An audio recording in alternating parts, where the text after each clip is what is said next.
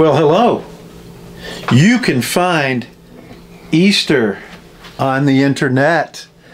Download those fun songs from the 80s at lordcashpockets.com or you can find it at easterband.com. Now here's a video from the album. This one is called Steady Rockers. Enjoy.